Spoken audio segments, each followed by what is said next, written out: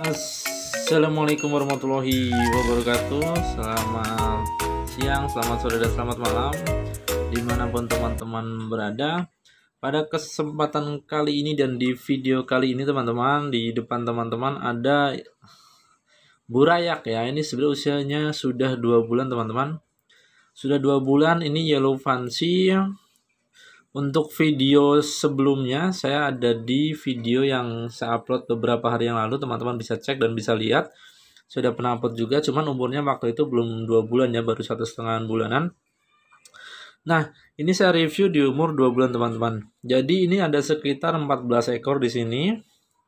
Totalnya 14 ekor. Dan ini adalah hasil mutasi di umur dua bulan teman-teman. Ada sekitar 3 atau 4 ekor yang uh, selo satu dua tiga dan empat itu belakang. Dia bodinya atau dagingnya uh, nggak kuning teman-temannya beda sama yang ini nih. Yang ini dia dagingnya kuning. Nah tuh kelihatan ya. Tapi yang depan dua ini dia dagingnya selo atau daging transparan atau bening. Nah karena yellow fancy ini adalah ikan yang dagingnya kuning biasanya kalau untuk ikan yang sudah selo seperti ini untuk potensi untuk naik ke daging kuning itu agak susah teman-teman. Apalagi umurnya sudah dua bulan ya. Cuman tetap eh, bukan pesimis tapi kita eh, saya akan tetap merawat ikan ini sampai nanti ya umur tiga bulan atau tiga setengah bulan. Dan saya akan review terus untuk perkembangannya. Dan saya akan upload di YouTube juga di channel ini juga dan teman-teman silakan ikuti untuk perkembangannya. Nah, saya eh, akan prediksi ikan-ikan yang berpotensi untuk bagus biasanya adalah ketika Jolofansi bermutasi, dia tidak ke silo dulu. Jadi ketika dari base skill seperti ini atau yang belakang itu, dia eh, si birunya ini dia akan mecah ke putih atau ke daging kuning, teman-teman. Jadi makan potensi yang bagus biasanya seperti ini. Ini bagus, yang ini bagus, yang belakang bagus, dan ini bagus. Nah contohnya seperti ini, dia dagingnya juga udah kuning tuh. Ya teman-teman bisa lihat. Nah tuh, tuh, tuh.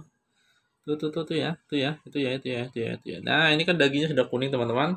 Dia dari dulunya juga basegel, basegelnya biru seperti ini ya. Basegelnya biru.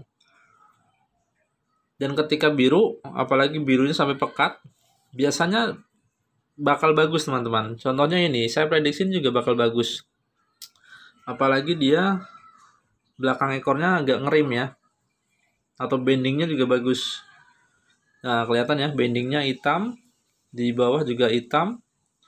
Tapi kalau semakan yang atas ada hitamnya sedikit, cuma nggak begitu kelihatan kalau semakan di HP. Ini saya di videonya nggak begitu kelihatan. Nah, itu ada hitamnya ya, kelihatan ya saya deketin tuh. Nah biasanya itu ikan yang potensinya akan bagus teman-teman. Karena apa? Karena dia birunya pekat dan umurnya masih dua bulan. Biasanya dia akan kuningnya bakal kuning banget biasanya. Ya. Beda sama yang ikan yang langsung ke selo seperti ini dari uh, sama-sama dari biru atau basegel cuma dia langsung ke selo. Nah kalau udah selo seperti ini nih biasanya untuk naik ke daging kuning itu agak susah teman-teman.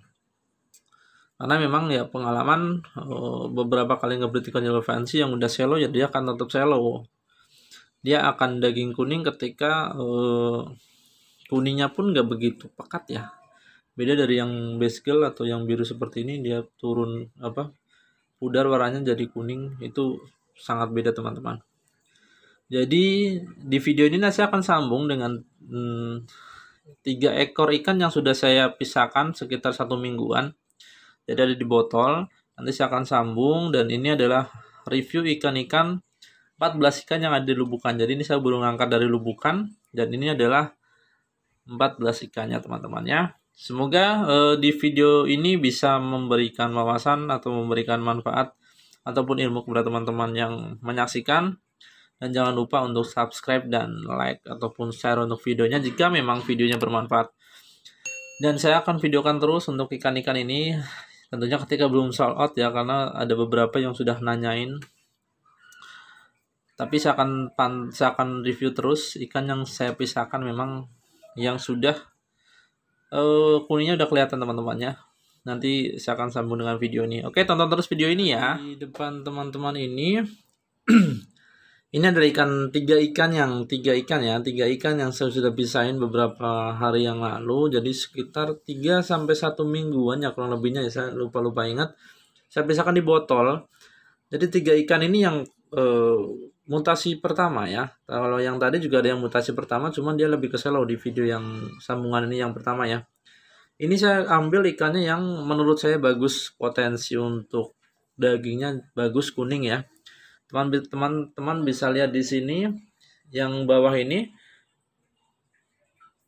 Yang bawah ini kemarin ini kuningnya kuning pekat ya cuman ini agak pudar saya nggak tahu kenapa. Kuningnya tinggal di kepala sama di back badan bawah. Sebenarnya eh, samping-samping itu ya. Dia sebelumnya kuning pekat cuman ini nggak masalah teman-teman karena saya lihat potensinya juga cukup bagus gitu ya makanya saya pisahkan kalau yang ini memang sudah cukup bagus nih dagingnya sudah kuning banget nih ya. Biasanya kalau makan ikan yellow fancy ketika si sirip-siripnya bawah atas sama belakang ini bening seperti ini teman-teman dia ada potensi untuk ngerim biasanya. Untuk bending ya bendingnya bisa hitam e, ataupun biru ya. Tapi kalau untuk yang tengah ini dia female teman-teman. Nah female juga udah genit banget tuh emailnya. Ini padahal usianya sama yang seperti yang video tadi satu lubukan temen ini sudah pisahkan jadi usianya sama dua bulan teman-teman. Kalau untuk female-nya juga dagingnya sudah kuning banget ya. Ada sedikit biru di uh, apa di badan belakang tuh atas tuh sama di ekornya. Nah ini ikan yang sudah saya pisahkan ini calon-calon ya calon-calon daging yang bagus daging yang kuning dan elevansi yang top grade-nya ya.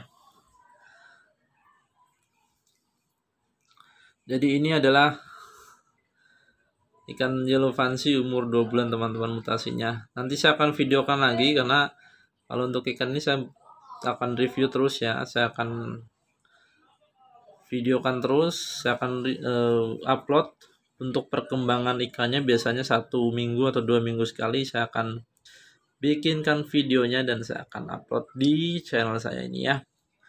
Jadi teman-teman yang uh, belum subscribe supaya tidak terlewat nah, berantem nih, supaya tidak terlewat untuk video-video saya berikutnya, silahkan subscribe ya dan jangan lupa like dan share ketika video saya bermanfaat.